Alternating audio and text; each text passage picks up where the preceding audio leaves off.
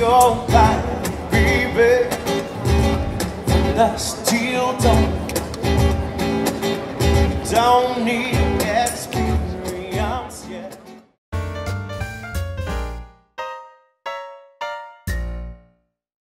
Hallo und herzlich willkommen beim Unternehmerkanal. Heute sitze ich nicht allein vor der Kamera und auch nicht wie sonst im Büro, sondern wir sind hier bei der Bits und Pretzels Konferenz in München und ich bin kurzerhand äh, über, den, über den Gründer von ZenKit gestolpert sozusagen, der mir von vielen aus unserer Community schon empfohlen worden ist, beziehungsweise sein Tool. Äh, herzlich willkommen erstmal Martin, schön, dass du dir ein paar Minuten Zeit nimmst. Mir ist das Tool empfohlen worden und zwar als Trello-Konkurrent oder Trello-Herausforderer. Ähm, wie siehst du das? Seht ihr euch da als eine Alternative oder äh, wie positioniert sich das Tool? Vielleicht kannst du ganz kurz sagen, was man mit ZenKit alles machen kann. Ja, also wenn du Trello ansprichst, äh, das liegt natürlich schon nah, äh, uns da als Konkurrent zu sehen. Ähm, aber äh, vielleicht etwas freundlicher formuliert wollen wir das Tool sein, dass, äh, wenn man mit Trello anfängt, dass man mit ZenKit weitermacht. Okay. Ähm, wir selber waren auch über viele Jahre sehr intensive und sehr äh, begeisterte Trello-Nutzer. Mhm. Finden das Konzept also gut und das ist natürlich auch in ZenKit eingeflossen. Aber mit zunehmendem Erfolg äh, auf Trello äh, haben wir gemerkt, dass es dann immer etwas über mehr und mehr überladen wurde, sozusagen, dass die Schuhe zu klein wurden. Und dann haben wir uns Gedanken gemacht, äh, wie können wir das äh, auf die nächste Stufe heben und daraus ist ZenKit entstanden.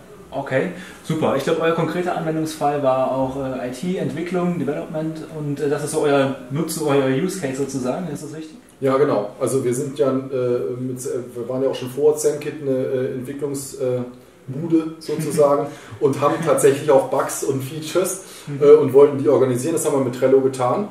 Ähm, deshalb ist das auch ein wichtiger Anwendungsfall für uns. Äh, Was wir aber auch sehr schnell festgestellt haben, ist, dass das keine, kein Silo ist, das für sich existiert, sondern es gibt auch immer noch Dinge, die, die daneben existieren, zum Beispiel Kunden. Ja, also wir, wir haben, äh, oder Milestones. Das sind also Dinge, ein Kunde hat Anfragen, hat Support-Tickets zum Beispiel, wieder ein kleines Silo, äh, das dann dazu führt, dass wir Bugs beheben müssen oder dass wir Features reinbauen. Äh, Und äh, wir wollten auch in der Lage sein, vom Kunden aus zu denken und zu gucken, was braucht der eigentlich alles noch. Ja? Bevor ich den jetzt nochmal anquassele per Telefon, willst nicht mal ein paar Lizenzen kaufen, wollen wir gerne wissen, was will der eigentlich noch von uns. Und äh, das zu pflegen in einem getrennten CRM-System war für uns einfach überhaupt nicht möglich. Mhm. Okay. Ja, verstehe ich, dass es dann irgendwann zu komplex wird und diese ganzen Insellösungen, die ja nun mal ja, gemäß der Grundstruktur gar nicht zu vermeiden sind, äh, dass das irgendwann aufkommt. Äh, um es jetzt nochmal ganz äh, praktisch zu haben, in einem ganz kurzen, äh, vielleicht 1, 2, 3, 4 Sätzen, was macht ihr jetzt genau anders, besser? Wo hebt ihr euch von zum Beispiel anderen Kanban-Tools ab, ohne jetzt mal ein bestimmtes hervorzuheben? Ja. ja, also wir stellen unsere Daten als Kanban-Tool dar, auf der einen Seite, aber auf der anderen Seite sind wir wirklich eine Datenbank. Das heißt, man hat auf einer Karte entweder einen Bug oder einen Kunden oder ein Feature oder was auch immer und man kann diese Karte tatsächlich verzweigen mit anderen Datenelementen. Okay. Ähm, und das nicht nur als, einfach als Link, sondern wirklich in der Datenbank. Das heißt, man kann darüber filtern, man kann darüber aggregieren. Man kann zum Beispiel in einem Kunden aggregieren, was kosten eigentlich alle Features, Mhm. Okay. die, die der da so haben will. Und dem gegenüberstellen, was da alles zum Beispiel die, die ganzen Leads äh, sind. Und dann kann man da Differenzen von ziehen. Mhm. Ja, und dann könnte man diese auch bei Kunden alle in eine Liste schmeißen und mal danach sortieren. Wer ist eigentlich profitabel? Wer ist profitabel? Nicht nur wer kostet, also wer bringt mir viel Mhm. oder wer, wer kostet mich viel, sondern was ist die Differenz davon? Und genau das sind ja diese low-hanging fruits, Mhm. die man haben will. Und da kommen dann rückwirkend für die Bugs und Features Mhm. ganz interessante Sachen bei raus. Ja, auf einmal äh, kommt jetzt kein Marketing-Heini äh, oder ein Sales-Heini bei den Entwicklern rein und, und macht sich bei denen unbeliebt, sondern an den Bugs und Features steht dann dran, Achtung, ihr seid die wichtigsten, weil. Mhm, Okay.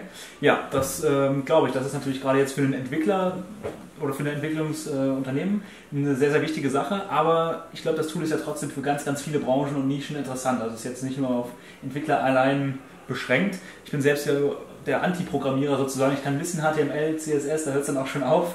Ähm, aber ich habe mir eure Demo schon mal angeschaut vor drei, vier Wochen, weil wie gesagt ein paar Zuschauer mich darauf hingewiesen haben. Und ich fand das jetzt auch für meine Sachen sehr interessant, also zum Beispiel für einen Redaktionsplan.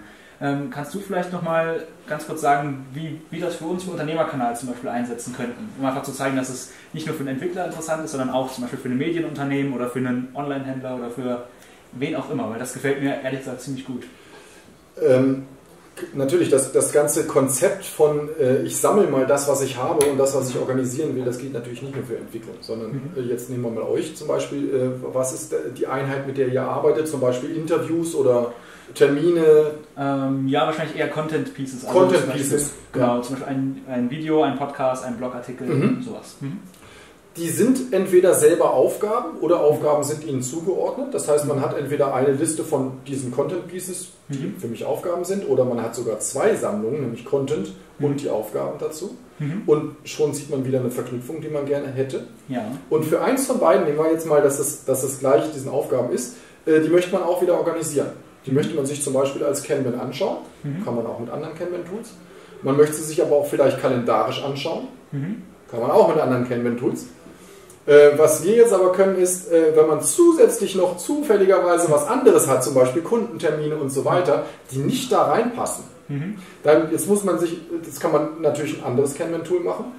Ähm, und da hat man auch wieder seinen Kalender. Was wir jetzt aber können, ist, wir können das alles zusammen in einen Kalender schmeißen. Mhm. Okay, ja, das macht auf jeden Fall richtig Sinn. Ähm, jetzt harte Frage, ich bin ganz starker Nutzer von verschiedensten Google-Tools und binde die zum Beispiel an andere Tools im Online-Ökosystem an über Zapier oder IFTTT oder sowas.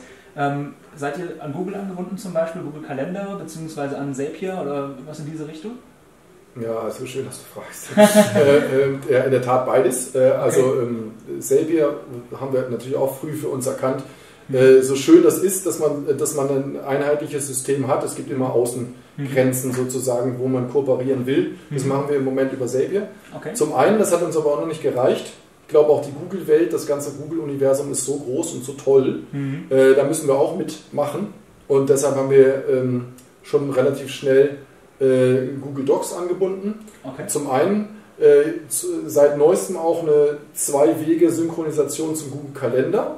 Sehr gut. Ja, die, Okay. macht, die macht halt jetzt wirklich richtig Spaß, weil man in ZenKit im Grunde genommen alles sieht, was man an kalendarischen Daten hat Mhm. und dann seine eigenen Daten sozusagen noch dazu hat. Mhm. Oder wenn man will, kann man seine eigenen Daten natürlich auch gleich live in Google sehen und braucht dann Mhm. äh, im Grunde genommen keine zwei Apps auch auf dem, Ja, auf dem Mobile. Das finde ich sehr sinnvoll, weil natürlich dann auch die Kollegen schon reinschauen können. Wahrscheinlich ähm, macht das jetzt gerade Sinn und denken vielleicht ein bisschen mehr über einen mit und man erspart sich irgendwie so eine Doppelbelegung von Terminen oder ja, ganz, ganz viel Chaos, was einfach entstehen kann, wenn es halt nicht synchronisiert ist.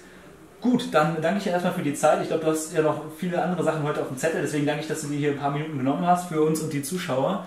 Ähm, für mich klang das auf jeden Fall alles sehr, sehr gut und ich freue mich da demnächst ein Video-Review machen zu können und vielleicht löst es ja meine Trello-Liebe ab. Für, für euch wäre es cool, für mich dann natürlich auch, weil mich ein paar Kleinigkeiten da natürlich stören. Ähm, deswegen freue ich mich drauf, das Ganze mal ausgiebig zu testen und vielen Dank, dass du dir hier nochmal die Zeit genommen hast. Sehr, sehr gerne. Cool, Dankeschön. Ciao. Danke. Ciao.